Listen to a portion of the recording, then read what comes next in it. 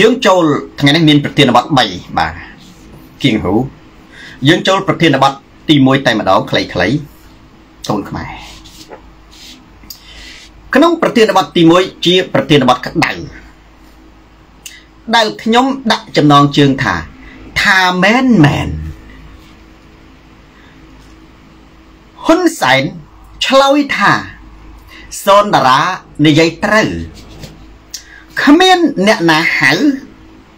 គ្មានមេដឹកនាំឈីហូកូឡុំប៊ើសគឺប្រជុំជាមួយអង្គការនិងសាស្ត្រាចារ្យបងប្អូនឥឡូវនេះណាមនុស្សសំបីតែគណៈបកប្រជាជនសវណ្ណរាលោកជីធម្មជាតិក៏ត្រូវតែស្ដាប់សូនតារាណែសូប៊ុនសូដើម្បីស្វែងរកការពិត ហើយមនុស្សជាច្រើនកំពុងតែភ្លុកទឹកភ្លុកដីមែនទេគ្រប់ដែលខ្ញុំថាសំបីតែគណៈបកប្រជាជនក៏ដោយនឹងមកមើលសូនតារាពីព្រោះពាក្យនិយាយការពិតដើម្បីដឹងថាពាក្យនឹងការពិតគឺយើងត្រូវធ្វើម៉េចគឺលទ្ធផលបងប្អូនណាលទ្ធផលវាចេញមកវាអត់ដែរខុសពីពាក្យដែលសូនតារាថាណាវាអត់ដែរខុសដល់ទៅពេលចឹងទៅមនុស្សថ្ងៃក្រោយឃើញសកម្មភាពហ៊ុនសែនគេលែងជឿតែមកចាក់នេះកាលពីម្សិលមិញ ខ្ញុំនិយាយតែនេះតិចបងប្អូនណានៅចាំ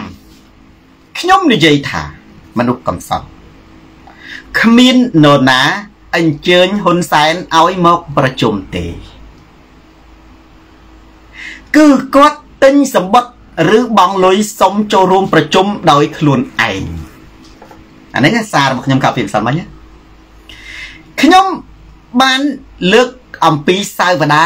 នៃកិច្ចប្រជុំនោះដោយសារខ្ញុំធ្វើការសិក្សាស្រាវជ្រាវទៅលើ website និង Google អញ្ចឹងខ្ញុំមិនបាច់និយាយឡើងដើមវិញទេខ្ញុំបាននិយាយថារដ្ឋាភិបាល Auckland កាលពីម្សិលមិញបងប្អូនណានៅចាំលើកដៃខ្ញុំថាកិច្ចប្រជុំនោះ គឺគេប្រមូលផ្ដុំបណ្ឌិតសាស្ត្រាចារ្យអ្នកជំនាញខាងសេដ្ឋកិច្ចពាណិជ្ជកម្មនៅលើពិភពលោកមកប្រមូលផ្ដុំគ្នា ដើម្បីជជែកវែកញែកស្វែងរកការរីកចម្រើនផ្នែកសេដ្ឋកិច្ចហើយគ្មានមេដឹកនាំប្រទេសណាគេទៅចូលរួមទេ វាគឺជាសិក្ខាសាលានៃសាស្ត្រាចារ្យនិងអង្គការជាបណ្ដុំអ្នកប្រាជ្ញសេដ្ឋកិច្ចតើហ៊ុនសែនគាត់អ្នកប្រាជ្ញសេដ្ឋកិច្ចអីបានជាគាត់មកអានឹងដែរហើយមាននរណាគេហៅទេគាត់បង់លុយសុំគេចូលពីព្រោះកាលពីម្សិលមិញខ្ញុំបានលើកឡើងថា បញ្ជាក់ទៀតថាតែនេះប្រុសស្មោះស្រុកស្រែហ៊ុនសែនបោកទេហ៊ុនសែនគ្រាន់តែចង់យកឱកាសដើម្បីមកថត selfie ហើយជួលមនុស្សនៅប្រទេសដឹកមនុស្សពីស្រុកខ្មែរនឹងជួលមនុស្សដើម្បីថតយកទៅផ្សាយនៅក្នុងអាប្រព័ន្ធផ្សព្វផ្សាយនឹងវណ្ណៈរាវិនឲ្យគេឃើញថាអូហ៊ុនសែននឹងគឺជាបៃតា ទទួលស្គាល់ទាំងជាតិអន្តរជាតិអន្តរជាតិគេអត់ស្គាល់ហ៊ុនសែនទេ ហើយខ្ញុំនិយាយទៀតថាចេះគណៈបកប្រជាជនមានសម្មាងណាស់ដែលបានសូនរហប្រាប់ការពិតកុំអីអ្នកណាអ្នកណាក៏ចាញ់បោកហ៊ុនសែនដែរគេថាហ៊ុនសែនមកប្រជុំអន្តរជាតិ ហ៊ុនសែនមកប្រជុំជាមួយថ្នាក់ដឹកនាំកម្ពុជាដូចជានៅសេតវិមានដូចជានៅសហរដ្ឋអាមេរិកហ៊ុនសែននឹងគេទទួលស្គាល់ជាលក្ខណៈអន្តរជាតិនរហេតុប៉ុន្តែសូនតារាប្រាប់ថាអត់ទេគេអត់មានហៅមកទេគាត់មកដើម្បីសម្ដែងលៀងមុខលៀងមាត់រឿងស្បែកជើងហោះផងឯតើហើយអានឹងគេប្រជុំគេសិក្សាស្រាវជ្រាវសូនតារាឲ្យបានត្រូវ ឧទាហរណ៍សូដោយសារសូនតារាជំនាញទស្សនវិជ្ជាបើខ្ញុំជាជំនះជំនាញសេដ្ឋកិច្ចកាលពីម្សិលមិញនេះខ្ញុំក៏ជម្រាបដែរនេះគេចង់ស្ដាប់ឧទាហរណ៍គេចង់ស្ដាប់ Bill Gates គេចង់ស្ដាប់ Elon Musk គឺអ្នកជំនាញចឹងចឹងណាគេទៅប្រជុំធ្វើសិក្ខាសាលាចឹងទៅគឺបង់លុយអ្នកចង់ចូលរួមទៅបង់លុយហ៊ុនសែនទៅបង់លុយចូលរួមណាហើយខ្ញុំក៏បានបន្ថែមទៀតអានេះចំណុចសំខាន់ណាខ្ញុំថាចាំមើល Fresh News មានថតហ៊ុនសែនប្រជុំអត់អានេះសិតចូលតាក់សូនរាទាំងអស់បងប្អូននេះខ្ញុំនិយាយចោលចូលតាក់សូនរាណាខ្ញុំ ប្រាប់ទៀតថាចេះបើហ៊ុនសែនគាត់បានប្រជុំមែនតែជីវលេងគាត់ច្បាស់ជាថតរូបអួតដូចនៅអាមេរិកអើយ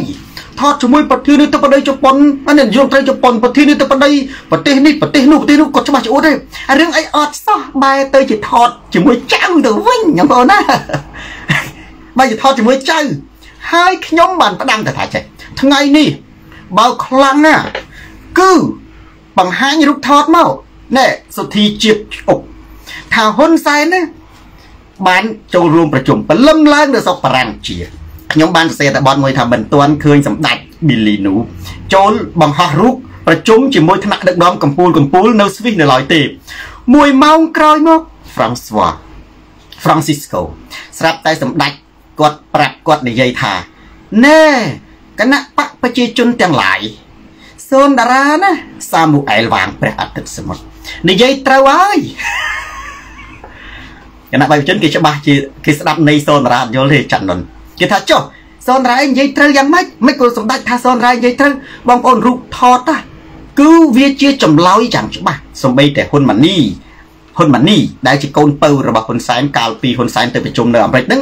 ក៏បង្ហោះរូបអួតដាណាពលៈហ៊ុនសែនជួបប្រជុំណាហានីលឹមជាមួយនឹងថ្នាក់ដឹកនាំកម្ពុជាកម្ពុជាពិភពលោកអាស៊ាននិងអាមេរិកហ្នឹងក៏គាត់សរសេរសរសេរនៅពាក្យហ្នឹងដែរគាត់ថារូបភាពមែនទេនិយាយជាងអ្វីអ្វីទាំងអស់គាត់ចង់សម្ដៅថាចេះកែមរីរូបថតហ្នឹងណាវាមិនចាំបាច់រៀបរាប់ច្រើនទេមើលតែរូបថតទៅគេដឹងថាហ៊ុនសែននឹងសម្បើមប៉ុណ្ណាហើយឥឡូវវាដូចគ្នា Francisco Totti ហ៊ុនសែនគាត់បង្ហាញរូបថតមកដូចបង្ហាញថាអ្វីទៅសនត្រានិយាយត្រូវ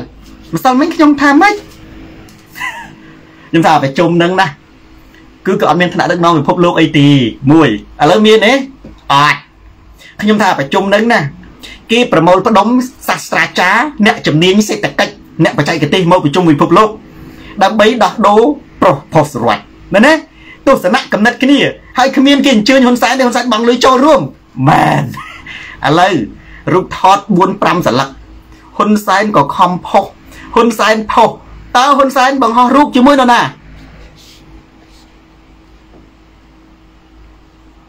ហ៎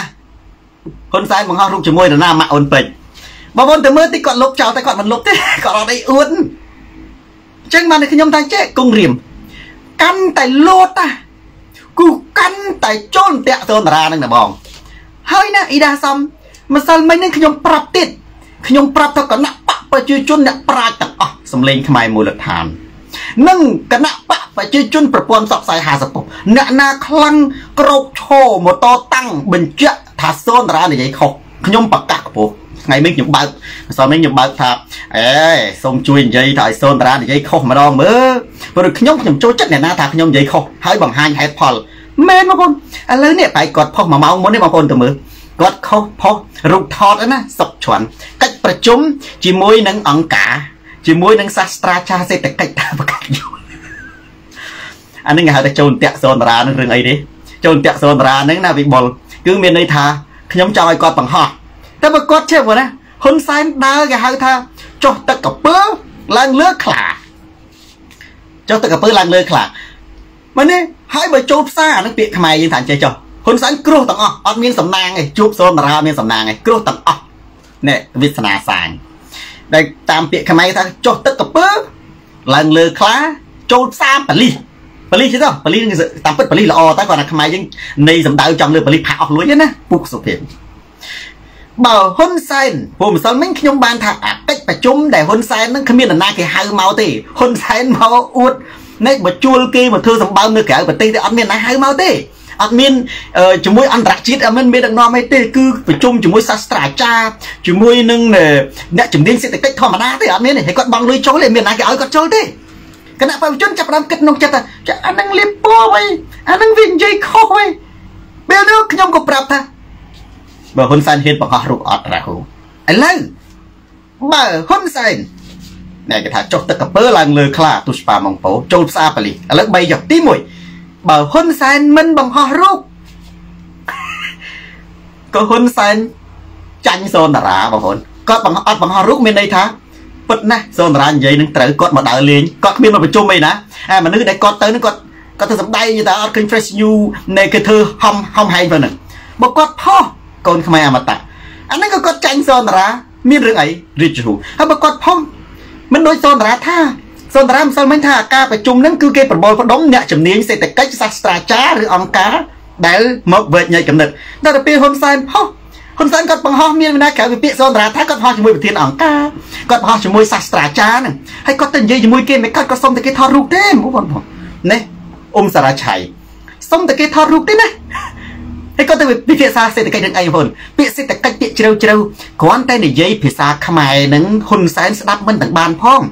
ភាសាសេដ្ឋកិច្ចនោះមិនបច្ចេកទេសគាត់ចេះអីគាត់ចុះតម្រាំទៅសន្តានាសេដ្ឋកិច្ចជាភាសាអង់គ្លេសតើហ៊ុនសែនចេះអីមិនស្រួលគាត់តែជួបនឹងសុំគេថតរូបដើម្បីកុំឲ្យសនតារានឹងវាថាអញ្ចឹងបើគាត់បង្ហោះរូបក៏គាត់ចាញ់សនតារាដែរ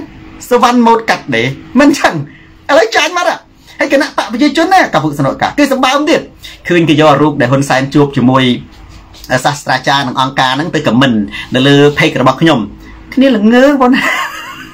សាន់មាត្រាផ្លៅបើគ្នាតែល្ងើហ្មងអាហ្នឹងហើយគេហៅថាចូលតាក់សូនតារាណាខ្ញុំថាអញ្ចឹងហើយពួកគេថាអេ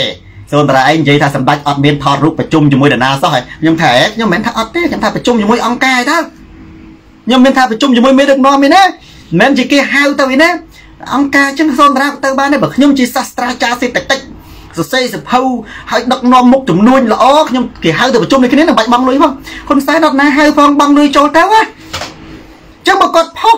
ក៏ចាញ់ឆ្ងាញ់ដល់គណៈបកប្រជាជននឹងយករូបដែលហ៊ុនសែនជួបជាមួយសាស្ត្រាចារ្យហើយនឹងអង្គការនឹងមកផុសមកប្រឈឺខ្ញុំទៀតណាខ្ញុំថាអាហ្នឹងចូលតាក់សនរាបាទទេហើយចុះបើហ៊ុនសែនតតាំងសំហ៊ុនបើហ៊ុនសែនតតាំងក៏ទៅចាញ់សនរាដែរ ចាញ់ទាំងអស់អាម៉ាប់កោកោអញ្ចឹងបើហ៊ុនសែនមិនបង្ហោះរូបក៏ចាញ់សនរា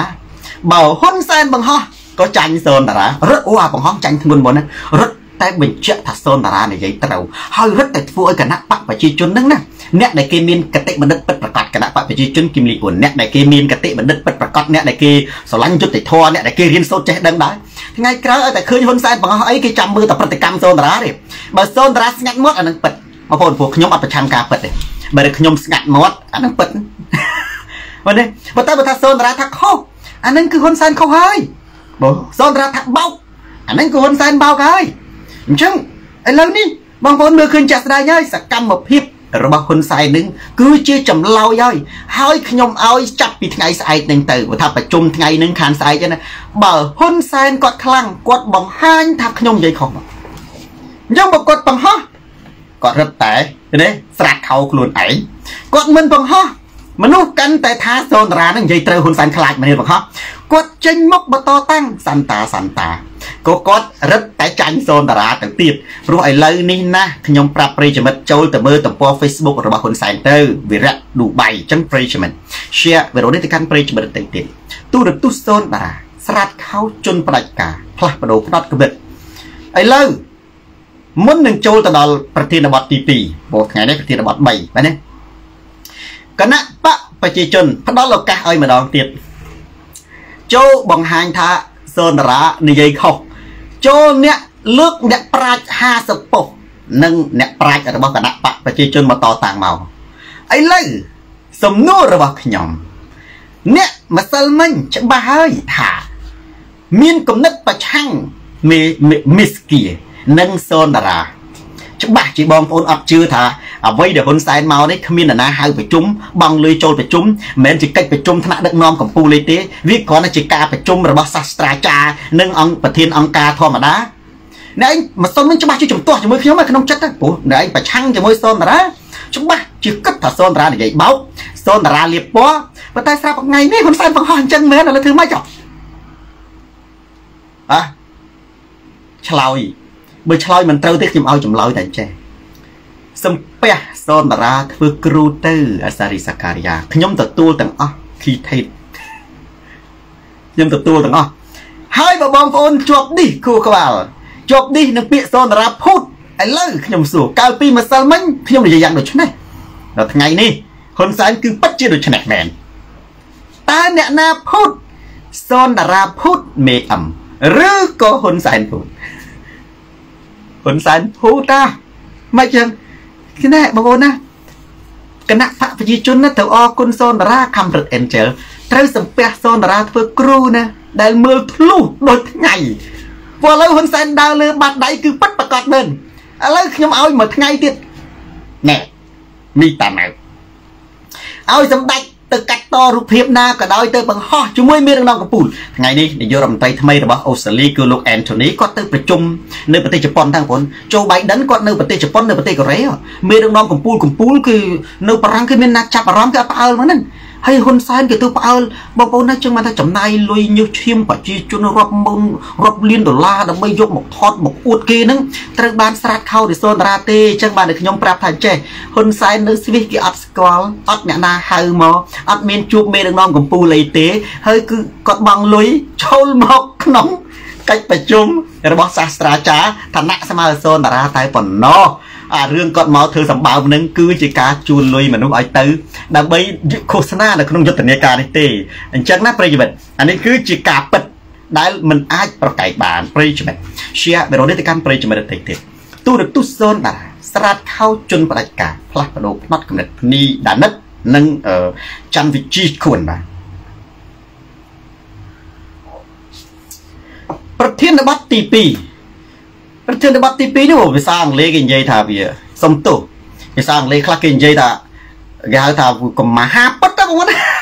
មហាពិតទៅគេជេរគេថា fucking true ហ្នឹងអានេះភាសាខ្លះគេនិយាយអូលោកគ្រូអាហ្នឹងថា fucking true វាថាម៉ែឪអាពិតតែហ្មងណារឿងចេះបងប្អូនសុំទោសមុខខាំតិចអង្គរសវណ្ណភូមិកាត់លុយ50000 50000តិចមានអ្នកខ្លះកាត់ដល់100,000 កាត់លុយ50000បាន20000វិញពេលទៅប្រជុំបាក់អានេះប្រជាជនធម្មតាអត់ដឹងទេប៉ុន្តែរាល់គ្រួសារណាដែលមានប្រពន្ធឬប្តីឬកូនណាជាមន្ត្រីរាជការក្របខ័ណ្ឌសូម្បីក្នុងគណៈបកប្រជាជននោះក៏ផ្ទះកាភ្លៀងខ្លួនឯងណាគាត់តែឃើញប្រធានបទគាត់យល់គណៈបកប្រជាជនពួកគណៈបកប្រជាជនភាគច្រើនតែនលប់ចំសិន ជាមន្ត្រីរាជការ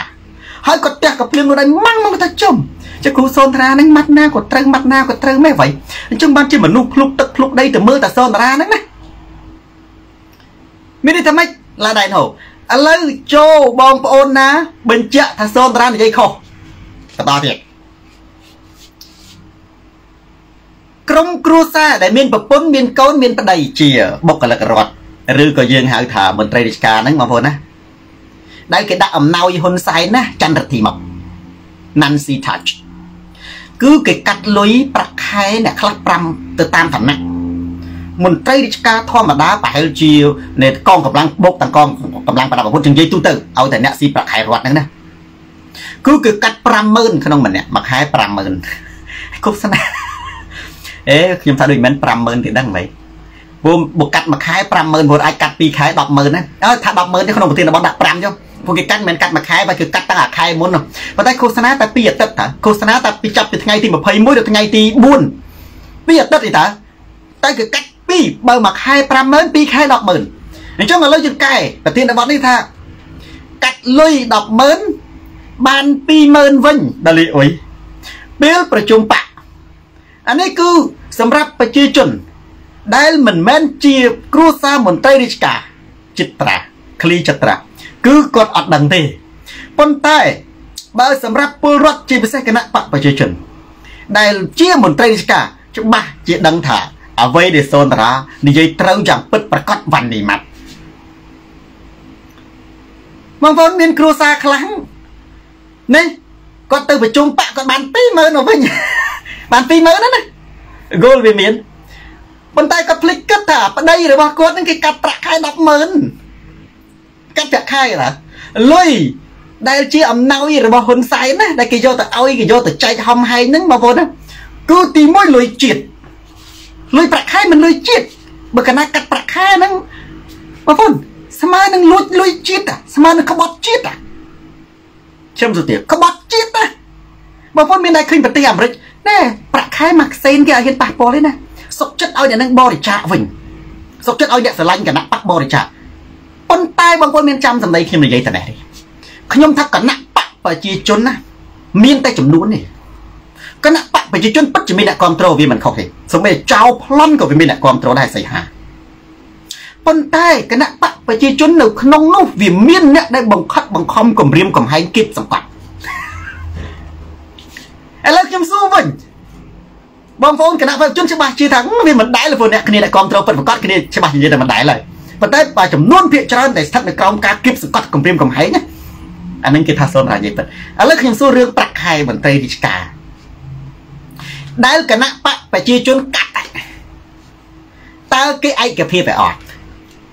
គ្មាននរណាវាតែចាំបងប្អូនដែលខ្ញុំនិយាយ90%ក៏អត់ឯកភាព90%ក៏អត់ឯកភាពទេមែនទេប្រាក់ខែគេ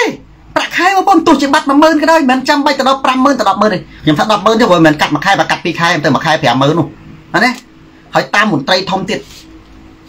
មន្ត្រីខ្លះបើកាត់100000ពីរខែវាឡើងចូលដល់20000ហើយប៉ុន្តែខ្ញុំសួរសំណួរទី2បើសិនជាឲ្យមនុស្សស្ម័គ្រចិត្តបរិច្ចាគលុយចូលគណៈបកប្រជាជនតើមានមនុស្សប្រមាណ200បរិច្ចាគអត់ទេបងប្អូនខ្ញុំអាចនិយាយរូបមន្តពីរថាចេះទី1 គ្មានអ្នកណាសบายចិត្តនិងគ្មានអ្នកណាឯកភាពរឿងកាត់ប្រាក់ខែទេប៉ុន្តែគ្មានអ្នកណាប្រកែកបានឡើយព្រោះវាជាអំណាចផ្ដាច់ការវាជាការបង្ខិតបង្ខំទី1ណាមែនទេ90%អត់សบายចិត្ត90%មិនឯកភាពទី2បើសិនជាគណៈបកប្រជាជនគេថាមិនបាច់កាត់ទេចាំមកតែនឹងចូលស្ម័គ្រចិត្តបើគណៈចូលស្ម័គ្រចិត្តត្រូវបងប្អូនណាជាសន្តានចិត្តរបស់គេមែនទេ តើមានមនុស្សរហូតដល់90%ចូលស្ម័គ្រចិត្តទេអត់ទេយ៉ាងច្រើនមនុស្សប្រហែលជា40%ចុះអ៊ុយសខនចូលស្ម័គ្រចិត្តហើយអាការចូលស្ម័គ្រចិត្តហ្នឹងមិនមែន50000ទេអ្នកខ្លះ1000ក៏មានដែរមិនចឹងអ្នកខ្លះ5000អ្នកខ្លះ10000អត់មានកាច់តម្រឹមទេ អាកាត់តម្រឹមហ្នឹងណាបងប្អូនគណៈបកប្រជាជនទៅដឹងជាពិសេសមន្ត្រីរាជការទៅទៅយល់អាហ្នឹងណាវាជារបបផ្ដាច់ការវាជាការគិបសង្កត់វាជាការគម្រាមកំហែងវាជាការព្យួរស្រែលើខ្នងមន្ត្រីរាជការអញ្ចឹងហើយបានជាប្រទេសកម្ពុជាប្រព្រឹត្តអំពើពុករលួយបងប្អូនកាត់ប្រាក់ខែហ្នឹងណាចំណុចទី2ចំណុចទី3តើប្រាក់ខែមន្ត្រីរាជការជាលុយអី ឥឡូវខ្ញុំសួរទៅគណៈបកប្រជាជនដែលបកកែជាពិសេសអ្នកបណ្ឌិតសេដ្ឋកិច្ចលីនីសម័យតេជូណាប្រាក់ខែរបស់មន្ត្រីរាជការគឺជាលុយរបស់រដ្ឋលុយរបស់ជាតិសំណួរតទៀតពោះទស្សនវិជ្ជាស្វែងរកសច្ចធម៌វាផ្ដើមចេញពីសំណួរបងប្អូនណាសំបីតែប្រពុតត្រាស់ដឹងក៏ផ្ដើមចេញពីសំណួរដែរសំណួរសួរថាហេតុអីបានជាមនុស្សនឹងឈឺហេតុអីបានជាមនុស្សនឹងស្លាប់ហេតុអីបានជាម្នាក់នោះស្អាត ហេតុអីបានជាម្នាក់នោះបួសអាសំណួរវានាំឲ្យយើងស្វែងរកចម្លើយមាននោះលីឥឡូវយើងបន្តសួរទៅទៀតតើលុយដែលគេយកទៅបើកប្រាក់ខែមន្ត្រីរាជការសេមប៊ុនសេមជាលុយអីមិនលុយជាតិគេមិនយកលុយនៅកប៉ៅហ៊ុនសែនទៅបើកឲ្យណាសំណួរបន្តទៀតលុយជាតិបានមកពីណាអានឹងយើងដេញតទៀតណាបងណា logic អានេះហៅ logic សំណួរស្វែងរកសច្ចធម៌សំបីនៅក្នុងតឡាការរបៀបបលិសស៊ើបអង្កេតក៏គេសួរសំណួរដែរ មានតែសំណួរទេ ដែលជាបញ្ញាទី1សម្រាប់ស្វែងរកសច្ចធម៌បងប្អូនចូលតឡាការក៏ដោយចូលបលិសក៏ដោយមែនទេស៊ើបគេត្រូវតែស៊ើបសួរដើម្បីស្វែងរកចម្លើយស្វែងរកការពិតឥឡូវសូនតារាសួរតើលុយជាតិបានមកពីណាបងប្អូនលុយជាតិបានមកពីណាខ្ញុំសួរបងប្អូនលុយជាតិបានមកពីពុនដាបានមកពីពុនដាសំណួរបន្តទៀតតើពុនដា មែនទេមានបងប្អូននឹងឆ្លាតខ្លះគេដឹងគេឆ្លើយថាពុនត្រូវ100បន្ទុកមកណែឃើញចលិះភ្នែកមិញឃើញបងប្អូនយើងម្នាក់ឆ្លើយថាពុនត្រូវហើយគេឆ្លាតហ្នឹងមិនគណៈបកប្រជាជនទេគណៈបកប្រជាជនគឺគេដឹងដែរគាត់គេធ្វើឈួតគណៈបកប្រជាជនមានអ្នកឆ្លាតឆ្លាតគេដឹងដែរគាត់គេធ្វើឈួតតាមហ៊ុនសែនហ៊ុនសែនឲ្យធ្វើឈួតធ្វើឈួតទៅជ័យយោជ័យយោចឹងទៅបានពីលុយពុនរៃក្បាលខៀវសំណួរបដិញតទៀតតើលុយពុនបានមកពីណាសាវ៉ាល់ លុយពុនបានមកពីណាឆ្លើយមកខ្ញុំលុយពុនបានមកពីប្រជាជនណែសូបុនសូហ៊ុនសែនគាត់ចេះដាំដើមលុយហ៎ហ៊ុនសែនគាត់ចេះរស់ស៊ីហ៊ុនសែនក៏លក់នំបញ្ចុកលុយពុនបានមកពីប្រជាជនជាអ្នកបងពុនឥឡូវគណៈប្រជាជនយើងសម្បាញ់និយាយអ្នកឆ្លាតទេនិយាយអ្នកល្ងីល្ងើទៅចុះគាត់ច្បាស់ថាអញមិនដែលឃើញសម្ដេចបងពុនអញបងពុនឲ្យសម្ដេចផងហា អញឃើញនៅសម្ដេចសង់ផ្លូវសម្ដេចសង់សាលាហាអញឃើញនៅសម្ដេចសង់វត្តអារាមហាអញឃើញនៅសម្ដេចសង់ស្ពានណាអញមានដែលឃើញអញសម្ដេចឯណាណាបុនបុនធឿនឡងមកយកពុនផងហាយើងសួរវិញហេតុអីបានជាអ្នកតើអ្នកឯងចាក់សាំងមួយលីត្រអ្នកឯងមានបងពុនអត់អ្នកឯងគ្នាហ៊ុនសែនណាណាមានដែលចាក់សាំងមួយលីត្រ2000រៀលឯង គណៈបពប្រឆាំងចាក់សាំងមួយលីត្រ6000រៀលឯងពោឡៃហូលហូសុកមានដែលអត់អត់ទេបងប្អូនណារាល់សាំងស្បែកជើងឡានឡានបងប្អូនជិះឡានអេតចាយនៅអាមេរិកភាគច្រើនយើងអត់និយាយអ្នកមានគេទិញឡានថ្មីប៉ុន្តែយើងនិយាយឡានចជុះសច្ចៈបុនគឺឡានអេតចាយនៅអាមេរិកឬនៅអឺរ៉ុបគេប្រម៉ូលទិញទៅនៅអាមេរិកចាបងប្អូនឡានហ្នឹងតែ2000នេះគេលក់ទៅអាមេរិកតែ2000ដុល្លារ មែនទេទិញទៅដល់ស្រុកខ្មែរអាឡាន2000ដុល្លារហ្នឹងគឺឡានជួកាគេបុកតិចគេកាត់តក៏កាត់តវាយមានភាគតិចជាមុនមានច្រើនតែជា2000ដុល្លារប៉ុន្តែពុនឡាននេះគេពុនឡាន150%យើងខ្ញុំឧទាហរណ៍ណាខ្ញុំអត់និយាយការពិតទេព្រោះអាហ្នឹងឧទាហរណ៍ជាការពិតប៉ុន្តែប្រពុនជាក់ស្ដែងមានតែអ្នកកាន់ពុនដែរក៏ដឹងឧទាហរណ៍ឡានហ្នឹង2000ឡានហ្នឹង2000ពុនណាវា150%អញ្ចឹងឡានហ្នឹង2000បងប្អូនបើពុន100%វាត្រូវឡានពុន2000 មែនទេបើ150%វាត្រូវឡានហ្នឹងពុន3000អញ្ចឹងឡានហ្នឹងត្រូវតម្លៃ5000ណាឡើង5000ណាថ្លៃដឹកជញ្ជូនទៅគេគិតតម្លៃ1000ឡានហ្នឹងវាឡើង6000ថ្លៃសេវាកម្មជួសជុលផ្សេងផ្សេងបងប្អូនជួសជុលវឡានឡានដែលទិញពីអាមេរិកទៅខ្ទេចតាទៅដល់គេកែគេក៏ម៉ាស៊ីនជួនកាលអត់មានអត់មានហ្វ្រាំងក៏មានដែរគេទៅថែមនៅស្រុកខ្មែរតាជួនកាលគេបន្ថែមបន្ថយក្រុមហ៊ុនដែលនាំចូលឡានហ្នឹងបន្ថែមបន្ថយទៅហ្នឹងវាអស់2000អញ្ចឹងឡានហ្នឹង6000ឡើង2000ក៏ឡើង8000 8000ហ្នឹងគេលក់យកចំណេញនេះ2000ព្រោះឡានវាមិនលក់ភ្លាមដាច់ភ្លាមឯងមានឡានឡានថាទុកយូរអញ្ចឹងគេដាក់តម្លៃចន្លោះពី10000ទៅ11000បើចំណាក់បកែតទៅទិញទៅ10000នេះទៅគេចំណេញ2000អ្នកដែលមិនបកែតទៅគេចំណេញ3000ឥឡូវយើងថាអ្នកបកែតចុះឡានហ្នឹងណាវាឡើងទៅដល់10000បងប្អូនដែលឡានទិញពីអាមេរិកទៅណា2000ដុល្លារ ដែលគេបោះចោលនៅតាមផ្លូវមានអ្នកអាជីវករខ្មែរយើងគេដើររើសដើររើសអេចាយឡានទិញហ្នឹងណាវាទៅដល់ស្រុកខ្មែរវាឡើង10000ដុល្លារសេមប៊ុនសេមបងប្អូនខ្ញុំសួរថាហេតុអីបានជាឡានមួយ10000ដុល្លារបើបងប្អូនពេលនោះពេលដែលបងប្អូនទិញឡានមួយបងប្អូនបងពុន3000 4000ដុល្លារបាត់ហើយពុនហ្នឹងបងទៅណាណាបងទៅតកែឡានតកែឡានគ្នាបងតកែឡានណាបងឲ្យរដ្ឋាភិបាលណាវណ្ណរី នេះហើយរដ្ឋាភិបាលយកលុយទៅណាយកលុយទៅទុកឃ្លាំងរដ្ឋលុយទាំងអស់ដែលគេប្រមូលពុនឡានប្រមូលពុនសាំងប្រមូលពុនតំណែងប្រមូលពុនប្រាក់ខែប្រមូលពុនខោអាវប្រមូលពុនសារពើភ័ណ្ឌទាំងអស់ដែលប្រជាជនខ្មែរយើងគាត់ទិញប្រើតាំងគណៈបកប្រជាជនដែលអត់ដឹងខ្យល់អីហ្នឹងណាក៏បងពុនហ្នឹងណាគេយកលុយហ្នឹងទៅចូលឃ្លាំងរដ្ឋហើយគេយកលុយហ្នឹងទៅប្រើប្រាស់ អ្នកជុំកកដាបើកប្រាក់ខែមន្ត្រីរាជការគេយកលុយនឹងទៅធ្វើស្ពានគេយកលុយនឹងទៅធ្វើមន្ទីរពេទ្យគេយកលុយនឹងទៅធ្វើផ្លូវគេយកលុយនឹងទៅជួយសង្គមកិច្ចប៉ុន្តែសួរថាតើហ៊ុនសែនមានបានយកលុយបងប្អូននឹងទៅថាជាលុយរដ្ឋដូចនៅប្រទេសជប៉ុនដូចនៅប្រទេសបារាំងដូចនៅប្រទេសអាមេរិកដូចនៅប្រទេសថៃទេហ៊ុនសែនថាអំណោយរបស់គាត់ហ៎យីឲ្យកើនបញ្ញាខ្លះផងស្ដាប់សូនតារាណាហើយឥឡូវនិយាយវាកាន់តែត្រូវ និយាយអានេះក្នុងប្រធានបទទី1បងប្អូនអ្នកចូលក៏ឲ្យដឹងណាម្សិលមិញខ្ញុំថាហ៊ុនសែនគ្មាននរណាហៅប្រជុំនេះគាត់មកប្រជុំខ្លួនឯងនៅជុំនេះហើយប្រជុំនឹងគ្មានមេដឹកនាំណាទេសិទ្ធិសាស្ត្រាចារ្យនិងប្រធានអង្គការគេមកជួបជុំគ្នាដើម្បីពិភាក្សាកំណត់សេដ្ឋកិច្ចហ៊ុនសែនគាត់ចេះសេដ្ឋកិច្ចអីគាត់សូម្បីតែនិយាយភាសាខ្មែរក៏ស្ដាប់បានផងហ្នឹងភាសាសេដ្ឋកិច្ចចុះតម្រងអង់គ្លេសធ្វើទៅថតរូបសម្បើមអត់ប្រយោជន៍ទេគាត់បោកគេដើម្បីយកមកបត់ឯតើចាន់វីគាត់ចាយលុយរាប់លានដុល្លារដើម្បីមកយកមុខ ពួកឥឡូវថ្ងៃនេះសម្ដេចក៏សារភាពថាសូនរានិយាយត្រូវតាមវាអីតាមវាក៏បង្ហោះរូបក្នុងផេកគាត់មែនទេទុសបុនិនបុនិនមរៈបរោះគប់ស្បែកជើងអើបើសម្ដេចបង្ហោះរូបចឹងហើយបងប្អូនទៅបកៃរឿងអីហា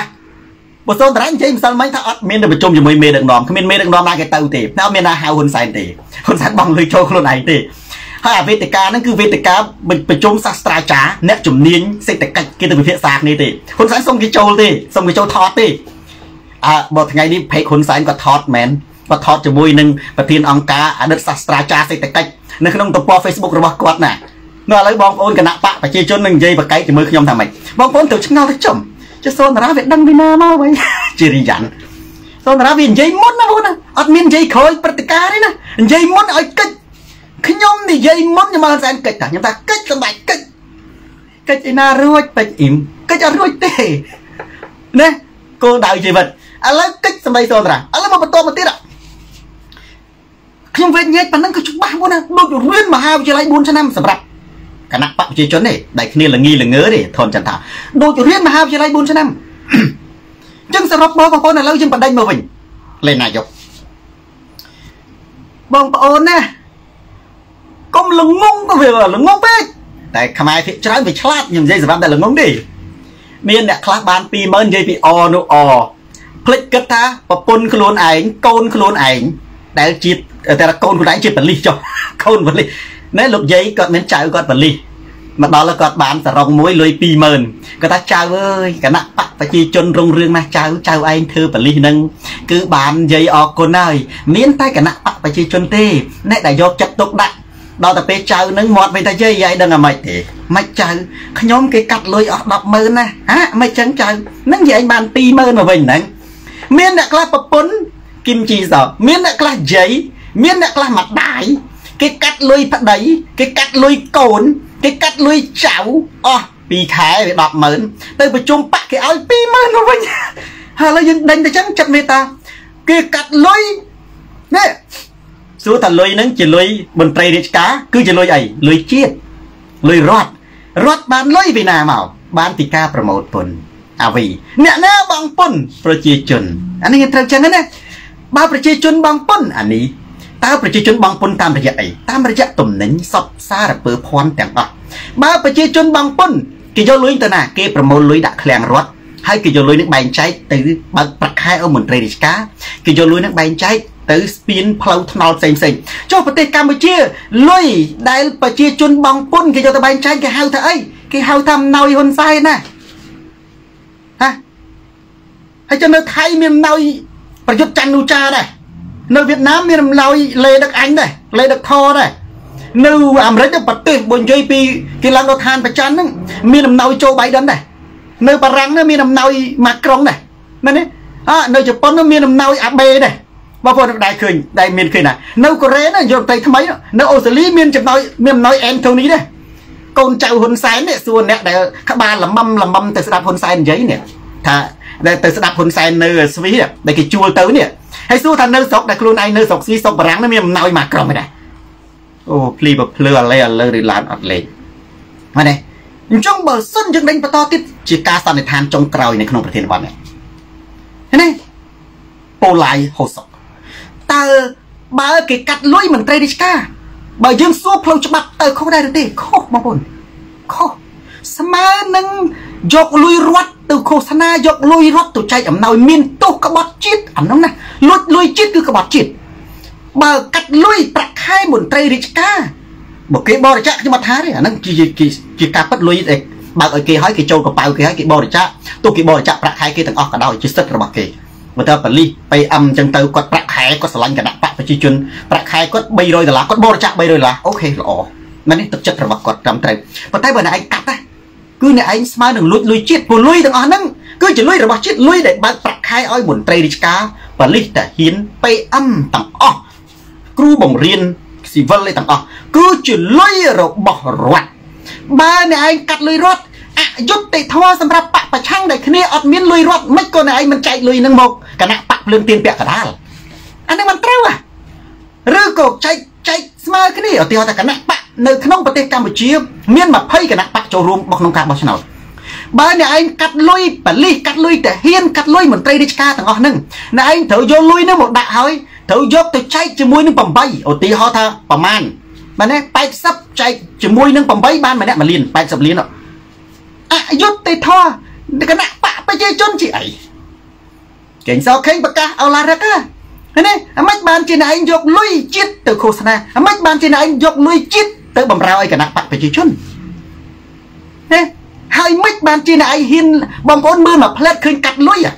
ប៉ុន្តែបងប្អូនសួរសំណួរថាកាត់លុយមិនលួចលុយជាតិ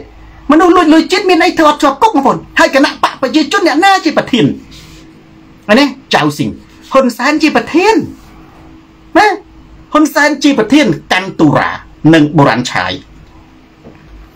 បើហ៊ុនសែនជាប្រធានតើអ្នកណាទទួលខុសត្រូវធំជាងគេហ៊ុនសែនបើហ៊ុនសែនជាប្រធានគណៈបកប្រជាជនគណៈបកប្រជាជនកាត់លុយជាតិយកលុយជាតិទៅឃោសនាយកលុយជាតិទៅធ្វើអំណោយហ៊ុនសែននឹងហើយលួចលុយជាតិតាលួចលុយជាតិអំពើពុករលួយឃើញនឹងភ្នែកបងប្អូនចោលគ្នាលួចឆក់ទូរស័ព្ទអានេះខ្ញុំអត់គ្រប់ត្រូលទេនេះមនុស្សវាយចង់ងាប់ចោលលួចលុយបច្ចុប្បន្នហ្នឹងហ៊ុនសែនហ្នឹងចាប់អាចោលកោះផ្ទះចាប់ចោលលួចម៉ូតូលួចអីហ្នឹងដាក់គុកវាយហើយចោលចោលលួចត្រង់នេះ ហ៎អាកាត់លុយមន្ត្រីរាជការនេះកាត់ប្រាក់ខែហ្នឹងមិនលុយជាតិហើយចុះគណៈបកប្រជាជនហ្នឹងចោលកាត់លុយផ្ទាល់មិនគ្មានអ្នកណាគេចាក់ដាក់គុកបងប្អូនលួចលុយជាតិធ្ងន់ធ្ងរណាស់ណាសម្បត្តិមិនធ្ងន់ធ្ងរណាស់ហើយខ្ញុំសួរគណៈបកប្រជាជនឆ្លើយជាមួយខ្ញុំយ៉ាងម៉េចបើខ្ញុំជាតឡាការដែលឆ្លើយថាម៉េចហ៎ឥឡូវបើថាខ្ញុំជាប្រជាជនទៅចុះបុរាណបុបុរាសានអ្នកឯងឆ្លើយថាម៉េចខ្ញុំថាស្រីស្រីឡៃស្ទឹងត្រែងអ្នកឯងក្បត់ជាតិ អ្នកឯងកាត់លុយជាតិអ្នកឯងលួចលុយជាតិអ្នកឯងយកលុយជាតិទៅចាយឯកជនបើអ្នកឯងកាត់លុយមន្ត្រីរាជការហ្នឹងគណៈបកដែលឈរឈ្មោះឧទាហរណ៍ថា8អ្នកឯងយកលុយទៅចែកតែ8ចែកគណៈបកគេឃោសនាផងព្រោះលុយហ្នឹងលុយប្រជាជនទាំងអស់ជាអ្នកបងពុនទេតាវិបុលអង្គរិនដាកឹមណែអានឹងគេថាទូរទស្សន៍សូនតារាស្រាត់ខោជន់ផ្ដាច់ការផ្លាស់ប្ដូរផ្នត់កំណត់ហ្នឹងណា ប៉ុន្តែខ្ញុំឯកភាពមិនចេះនិយាយដដែលមុននឹងឈានចូលទៅដល់ប្រធានបទទី3ហើយសៀងចន្ទ្រាបើគេចូលដោយស្ម័គ្រចិត្តទោះគេចូលមួយលានក៏ដោយគេចូល1000ក៏ដោយគេចូល2000ក៏ដោយគេចូល10000ក៏ដោយត្រឹមត្រូវគេមានសិទ្ធិគ្រប់គ្រងគណៈបកស្រេចតែគេអ្នកគេមន្ត្រីរាជការប៉ុន្តែគេគ្រប់គ្រងគណៈបកប្រជាជនប៉ុន្តែអ្នកឯងទៅកាត់តម្រឹមទូទៅសួរថាកាត់លុយមិនលុយជាតិអ្នកឯងកាត់លុយជាតិមិនអ្នកឯងយកលុយជាតិទៅទៅចាយ ខុសខ្ទង់ទៅចាយខែគណៈបកមិនឯងលួចលុយជាតិបើអ្នកឯងលួចលុយជាតិលួចលុយជាតិតាមរយៈកាត់ប្រាក់ខែមន្ត្រីរាជការណាអាហ្នឹងបើយើងមើលមួយផ្លែតទៅហ្នឹងគឺគ្រាន់តែជារឿងកប៉ិកកប៉ុកធម្មតាតើហ៊ុនសែនមានបទអក្រិតលួចលុយជាតិដោយនៅនឹងមុខហើយហ៊ុនសែនត្រូវតែផ្ដន់ទាទោសតាមច្បាប់អត់បងប្អូនណាគេហៅថាអ្នកមេដឹកនាំធ្វើខុសត្រូវតែកាត់ទោសឲ្យធ្ងន់ជាងប្រជាជនធម្មតា ពីព្រោះប្រជាជនធ្វើខុសវាបំផ្លាញត្រឹមតែមនុស្សពីរនាក់ទេឧទាហរណ៍ថាបើចោលប្លន់ណាមិនចោលប្លន់គ្រូសាមួយវាបំផ្លាញតែគ្រូសាមួយទេប៉ុន្តែបើចោលប្លន់ចិត្តវាបំផ្លាញនគរទាំងមូលណាមីណូលីមិនចឹងចោលប្លន់គ្រូសាអូលីសាត់ចាគឺវាប៉ះតែគ្រូសាមួយទេចោលប្លន់ជាតិណាប ច្ចពិស័យគឺវាប៉ះប្រទេសជាតិមួយទាំងមូលឥឡូវយើងឃើញច្បាស់ហើយយើងឃើញច្បាស់ហើយកន្លែងនេះតើគណៈបកប្រជាជនគេឆ្លើយថាម៉េចឥឡូវចេះខ្ញុំថាអ្នកឯងកាត់លុយកាត់ទៅប៉ុន្តែយើងលុយបច្ច័យគ្នាស្មើខ្ញុំអត់និយាយថាបច្ច័យភ្លើងទៀនទេព្រោះភ្លើងទៀនក៏ត្រូវមានចំណែកដែរអានេះមីស្ទ័រអានខ្មែរអង្គរគណៈបកដតីទៀតក៏ត្រូវចែកគ្នាស្មើដែរ មាននរណាយកលុយជាតិមួយដែលប្រជាជនទាំងអស់បងពុនយកទៅចាយខ្លួនឯងយកទៅធ្វើអំណោយធ្វើសាលាយកធ្វើអាសម្បើមធ្វើអាមុខមាត់ណោយហ៊ុនសែនណោយគណៈបកប្រជាជនគណៈបកប្រជាជននឹងរស់ស៊ីអីប្រជាជនបងពុនទាំងអស់តាហើយយកទៅប្រទេសថៃនេះក៏មិនណោយណាប្រទេសជប៉ុននៃបដូរនាយករដ្ឋមន្ត្រីប្រទេសអ្នកម៉ូរីបូរ៉ាប្រទេសនៅណាពិភពលោកទៅកូរ៉េនៃខ្មែរទៅនឹងគេបដូររហូតនឹងមិនក៏ប្រទេសគេរលាយ អានឹងគួរជាគឺហៅថាកំហុសធ្ងន់ធ្ងរណាបងប្អូនបើបងប្អូនមើលមួយផ្លេតកូនច្រឿងតូចតាចទេបើបងប្អូនមើលឲ្យជ្រៅតែបន្តិចណាគឺលួចលុយចិត្ត100%អញ្ចឹងខ្ញុំជឿថាគណៈបកប្រជាជនអ៊ីរ៉ែនគុំអ៊ីរ៉ែនអ៊ុំណាក៏យល់ច្បាស់ដែរហើយបងប្អូនខ្ញុំនៅតែនិយាយសរុបសេចក្តីមកវិញដដែលហ្នឹងគឺថាកាត់លុយមន្ត្រីរាជការគឺលុយជាតិបើកប្រាក់ខែមន្ត្រីរាជការលុយជាតិគឺលុយប្រជាជនកាត់លុយមន្ត្រីរាជការយកទៅបំរើបក គឺស្មើនឹងចៅលួចជាតិចៅលួចជាតិគឺស្មើនឹងក្បត់ជាតិគឺស្មើនឹងលួចលួចជាតិមានទោសធ្ងន់ជាងចៅប្លន់ផ្ទះប្រជាជនមួយណាទី1ទី2បើអ្នកនោះចូលឲ្យស្ម័គ្រចិត្តជារឿងធម្មតាទោះជាគេចូល1លានដុល្លារក៏ដោយលើសពីប្រាក់ខែគេក៏ដោយ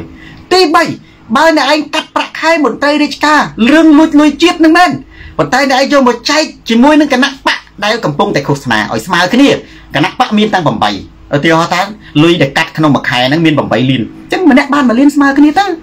នេះស្មើគ្នាគណៈបច្ចុប្បន្នក៏ត្រូវបាន1លានដែរព្រោះលុយលុយយើងទាំងអស់គ្នារឿងអីដែលឯងយកលុយយើងទាំងអស់គ្នាទៅចែកគេហើយថាជាអំណោយរបស់ហ៊ុនសែនថាជាអំណោយរបស់គណៈបកប្រជាជន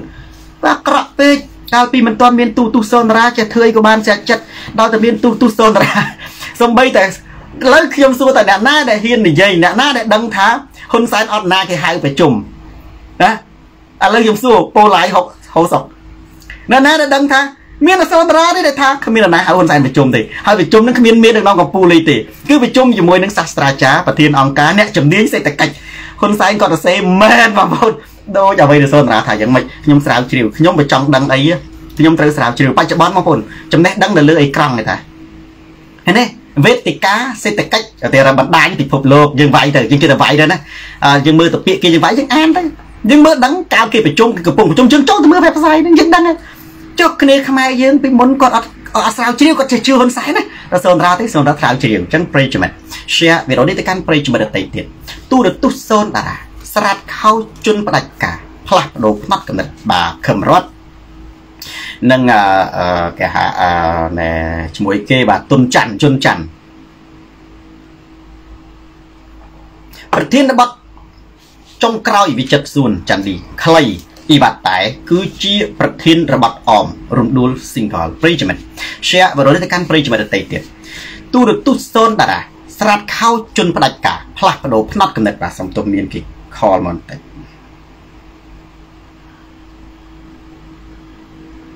បាត់តិចបាទខ្ញុំ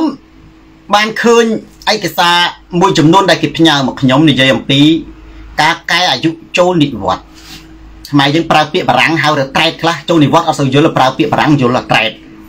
បាទដូចជាខ្ញុំនិយាយចឹងមែនទេខ្ញុំនិយាយដើម្បីឲ្យយល់ទេណាមិនមែនទៅលើកកម្ពស់ភាសាអីទេបាទព្រោះយើងនិយាយគោលដៅដើម្បីគេយល់ប្រើចូលចូលអាតែតខ្មែរយើងយល់ដូចជាពាក្យ visa ណាខ្មែរយល់ពាក្យទឹកតកាខ្មែរយើងទៅយល់ពេលគេមួយចំនួនមិនមែនថាទាំងអស់ទេពេលគេរំលាយគណៈបកសង្គ្រោះជាតិថាអន្តរជាតិដាក់បកកទ្រព្យសម្បត្តិបិទទឹកតកាទេរហូតមកទល់ឥឡូវនេះនិយាយទឹកតកាស្រួលទៅតាមមួយចំនួនអ្នកខ្លះអត់ទាន់សមបញ្ជាទេណា បើនិយាយ visa យល់ខ្ញុំជួបច្រើនណាស់ប៉លីសថាខ្ញុំនៅពេញធ្លាប់និយាយម្ដងហើយជួបអ៊ំម្នាក់គាត់ធ្វើប៉លីសគាត់ចាស់ហើយណាគាត់សូម្បីលិខិតឆ្លងដែនហ្នឹងគាត់គាត់ប៉លីសចរាចរណ៍គាត់ស្លាប់ហើយបាទគាត់សូម្បីលិខិតឆ្លងដែនហ្នឹងគីសុភ័ក្រហើយនឹងប៉ាសពតណាគាត់ថាខុសគ្នាបងប្អូនណាគាត់ថាខុសគ្នាណាខ្មែរយើងបច្ចុប្បន្នគេមិនដែលថាធ្វើធ្វើលិខិតឆ្លងដែនទេអានឹងភាសាសរសេរភាសានិយាយថាប៉ាសពតហ្នឹងឯងហើយបើថាទៅអាមេរិកមិនដែលទៅសុំទឹកតកាទេ គឺទៅសុំវីសាមកអាមេរិកហ្នឹងឯងមែនទេ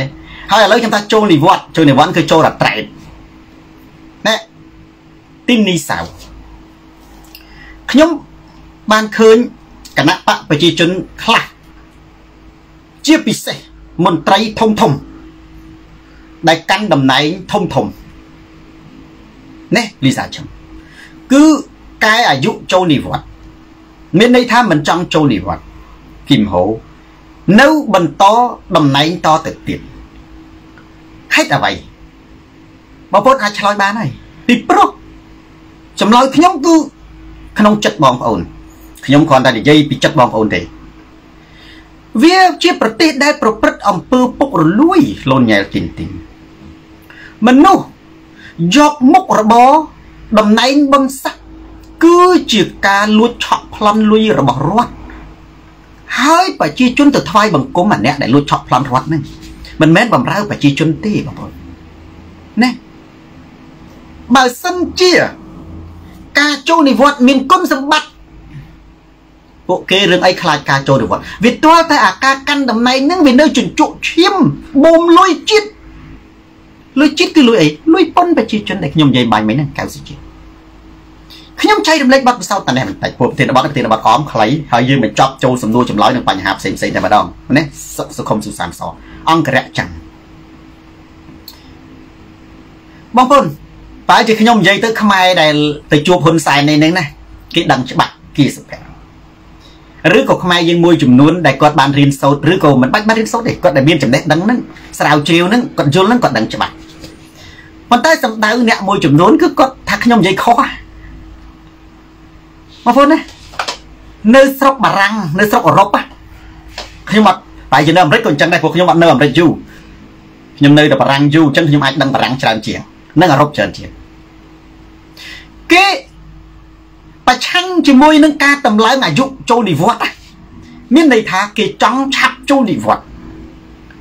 មនុស្សដែលអស់ចានៅស្រុកបារាំងណាគឺជាមនុស្សដែលឆាប់ចូលនិវត្តន៍ហើយគេអួតគ្នា គេថាអូអាការងារហ្នឹងត្រឹមអាយុ50ហើយចូលនិវត្តន៍ដែរគេចេះគេអត់មានបើនៅប្រទេសខ្មែរយើងបងប្អូនអត់ទេវុធីវុធីមែនទេឥឡូវខ្ញុំនិយាយរឿងគោលនយោបាយបោះឆ្នោតមុនពេលបោះឆ្នោតនេះវ៉ាល់ឌីមៀពូទីនៅប្រទេសបារាំងថ្មីថ្មីនេះខ្ញុំយកពីគោលនយោបាយពីរចំណុចរបស់មេឡង់សុងបេក្ខជនហើយនឹងណែម៉ាក្រុង ណាឥឡូវម៉ាក្រុងជាប់ឆ្នោតម៉ាក្រុងគាត់ដំឡើងធម្មតានៅបារាំងបើតាមខ្ញុំចាំចូលនិវត្តន៍62ឬក៏63មានថាដល់អាយុនឹងឈប់ធ្វើការងារដេកចាយដេកចាយដេកស៊ីលុយហ្មងណាហើយគេសប្បាយហ៎បងប្អូនពេលនោះមេឡង់សុងគាត់ថាចូលនិវត្តន៍អាយុ60ម៉ាក្រុងគាត់តម្លើងរហូតដល់អាយុ65ឥឡូវគោលនយោបាយរបស់ម៉ាក្រុងដែលគាត់ទោះជាគាត់ជាប់ប្រធានាធិបតីក៏ដោយណាច័ន្ទថេនវ៉ាន់ ក៏អាគោលនយោបាយចូលនិវត្តន៍អាយុ65អត់ទាន់ចេញទេណាឥឡូវចេញហើយគេចាប់ផ្ដើមដាក់សំណួរសួរថាតើគោលនយោបាយរបស់ម៉ាក្រុង ដែលតម្រូវឲ្យប្រជាជនបារាំងចូលនិវត្តន៍អាយុ65ឆ្នាំនឹងបានជោគជ័យដែរឬទេ មានការស្ទង់មតិមួយនេះ60%ប្រឆាំងប៉ុន្តែហេតុអីគេបោះឆ្នោតដល់ម៉ាក្រុងគេបោះឆ្នោតដោយសាររឿងផ្សេងផ្សេងព្រោះធម្មតាគេបោះឆ្នោតគេអត់សំដៅទៅលើរបស់តូចមួយអារឿងចូលនិវត្តន៍ គាត់តែជាចំណុចតូចមួយវាមានអាគោលគោលនយោបាយមួយក្រុងគាត់មានចំនួន10អញ្ចឹងគេគ្រប់គ្រង8គេប្រឆាំង2អញ្ចឹងអា2ហ្នឹងមានគេត្រូវបោះឆ្នោតឲ្យគាត់ហើយហើយនេះឥឡូវគាត់ជាប់ជាប្រធានរដ្ឋដីរហូតដល់តែបារាំងគេហៅថាគេធ្វើនេះ sondage អាហ្នឹងគេហៅថាការស្រាវជ្រាវទៅមនុស្សដែលប្រឆាំងជាមួយនឹងច្បាប់របស់បារាំងហ្នឹងគឺគេចង់ចូលនិវត្តន៍អាយុដដែល62ឬ63 62 63ហ្នឹងគឺសំខាន់មិនទូទៅបងណាដូចជាតាហ៊ានដូចជាបលិសដូចអីហ្នឹង ឆាប់បានចូលនិវត្តន៍ដូចចូលនិវត្តន៍ដូចជាចូលនិវត្តន៍អាយុ50ឯការងារដែលប្រើកម្លាំងកាន់តែខ្លាំងការចូលនិវត្តន៍កាន់តែលឿនការងារដែលប្រើបញ្ញាអត់សូវប្រើកម្លាំងកាន់តែខ្លាំងការចូលនិវត្តន៍កាន់តែវែងដូចជាមន្ត្រីនយោបាយអត់ចូលនិវត្តន៍ទេនៅស្រុកប្រាំងព្រឹទ្ធសភាអីចឹងទៅព្រឹទ្ធសភាប្រធានាធិបតីអត់មានកំណត់អាយុចូលនិវត្តន៍ទេបាទព្រឹទ្ធសភារដ្ឋសភានេះអីចឹងទៅអត់ទេប៉ុន្តែចូលនិវត្តន៍គឺសម្រាប់ទូទៅសូវយ៉ាសៅបងប្អូនស្រុកនេះតម្លៃអាយុចូលនិវត្តន៍ មនុស្សបាតកម្មមកប្រទេសបងប្អូនតម្លើងតែមួយឆ្នាំមនុស្សបាតកម្មមកប្រទេសឯចំណែកនៅស្រុកយើងវិញណាគេគេអត់ចង់ចូលនិវត្តន៍ហាខ្ញុំសនតារាមកដល់ប្រាំងខ្ញុំចង់ចូលនិវត្តន៍បងប៉ុន្តែខ្ញុំចូលអត់ទាន់បានធ្វើការផងគេចង់ហើយខ្ញុំប្រាប់រឿងមួយបងប្អូននៅស្រុកបារាំងមនុស្សជប់លៀងវាមានច្រើនណាស់យើងដកអាពីវិពាចេញយើងដកអាពីវិពាខុសកំណើតចេញណាមនុស្សជប់លៀងណា ធំធំមាន3មាន3ហើយអ្នកនៅស្រុកប្រាំងដឹងទៅសូនតាមនិយាយទៅមកទី1មនុស្សប្រឡងជាប់ប្រឡងជាប់បាក់ដប់នៅស្រុកប្រាំងបាក់ដប់ធំជាប់បាក់ដប់គឺថាដូចនៅស្រុកខ្មែរដូចគ្នាបាក់ដប់ជាស្ពានបងប្អូនទៅណាដូចគ្នាជប់លៀងនៅស្រុកខ្មែរចឹងសច្ចៈលោកីមែនទេដូចជាប់បរិញ្ញាបត្រមហាវិទ្យាល័យគេអត់សូវជប់លៀងប្រហែលទេព្រោះអាហ្នឹងវាជំនាញមុតណាហើយនេះបាក់ដប់អ្នកដែលជាប់បាក់ដប់ក៏ជប់លៀងងាប់បងប្អូននៅស្រុកប្រាំងមួយ សบายណាស់សบายណាស់ជាប់បាក់ដប់ទី2អ្នកដែលបានបានបើកបោខ្មែរយើងដែលប្រាំងហៅពាក់មីខ្មែរប្រើពាក្យពាក់មីដែរអាលីកាចាន់ខ្មែរយើងបានបើកបោនោះពាក់មីភាសាបារាំងដែរអ្នកដែលប្រឡងអត់ដូចស្រុកយើងបានបើកបោហ្នឹងទៅចុកឈ្មោះទៅបងលុយឲ្យគេទៅស្រាប់តែអត់មានទៅប្រឡងអីផងគាត់ទៅបង្ហាញមុខចឹងទៅផ្ដិតមេដៃឲ្យទៅបានសញ្ញេទៅបានបើកបោមកបើកបុករះឯងមកមកផ្លូវហ្នឹងម៉ូតូអ្នកលក់ទឹកអំពៅងាប់ខ្ទេច អ្នកខ្លះជិះទៅបានបានបើកបងគេដែរអាហ្នឹងអត់ស្គាល់ភ្លើងសញ្ញាចឆត់ឲ្យកន្លែងបលិសបានលុយចាយងប់នៅស្រុកប្រាំងអត់ទេណាបងណាអ្នកដែលប្រឡងជាប់បានបើកបោជប់លៀងបងប្អូនបានបានណាលោកម្ចាស់ថ្លៃហើយឃើញទេជប់លៀងធំជាងគេបងប្អូនមិនដឹងអីទេស្រីឡៃស្ទឹងត្រែងគឺចូលនិវត្តន៍អ្នកនៅស្រុកបារាំង ថ្ងៃដែលចូលនិវត្តន៍គ្មានអ្នកណាម្នាក់មិនជប់លៀងផឹកស៊ីធំជាងពិធីមង្គលការទៀតបងប្អូនធំជាងពិធីមង្គលការទៀតហើយចុះហេតុអីបានគេសប្បាយបងប្អូន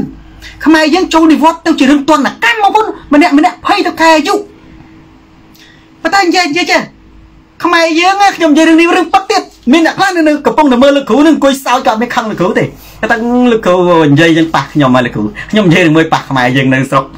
នៅបរទេសនៅអាមេរិកឬក៏នៅបារាំងខ្ញុំនិយាយរឿងមួយចុះទៅតុកតុក driver ណាឥន្ទ្រីខ្មៅ08គាត់ផ្នត់កំណត់ខ្មែរពេលដែលគាត់ចេញពីជំរំមកថ្ងៃខែគាត់មានឯកសារណាដូចយើងឥឡូវយើងឥឡូវឯកសារមានអត្តញ្ញាណប័ណ្ណប៉ាសពតចេញពីអាពតមានណាបងអានេះ អាយុគាត់ថ្ងៃខែឆ្នាំកំណត់កំណើតគាត់ជប់ទាំងអស់ជប់ទាំងអស់ដល់តែពេលមកដល់ស្រុកបារាំងពេលដែលធ្វើឯកសារដាក់ចូលសញ្ជាតិណាបងប្អូនណាអ្នកខ្លះលេងបថយអាយុដល់10ឆ្នាំនេះក៏មានដែរចុះអាស៊ីចឹងមកក្មេងក្មេងបងប្អូនមែនទេដូចខ្ញុំសនរាប្រាប់គេថាអាយុ40ឆ្នាំនេះក៏ជឿដែរណានឹងរត់បារាំង ពួកបារាំងមកថាអាយុប្រហែលខ្ញុំនោះមើលទៅដូចតាហ្មងពួកអឺរ៉ុបដូចមុខឆាប់ចាស់ខ្ញុំនិយាយមែនមុខឆាប់ចាស់មានអ្នកខ្លះបថយមាននឹងមានអ្នកលួចសោចអ៊ំអ៊ំលោកពូលោកពូស្ដាប់នឹងទៅលោកគ្រូប៉ះគ្នាឯងណាអើអានឹងវាទៅចឹងហើយមិនដឹងធ្វើម៉េចទេព្រោះវានិយាយការពិតនេះវណ្ណកាសគាត់ បថយអាយុអ្នកខ្លះរហូតដល់10ឆ្នាំមកពុនគាត់មកដល់នេះលេងគាត់អាយុមកដល់ស្រុកបារាំងដល់អាយុ30ហើយតែមិនដល់10ឆ្នាំទេលេងក៏ដាក់អាយុប្រហែល22ថា8ឆ្នាំចុះ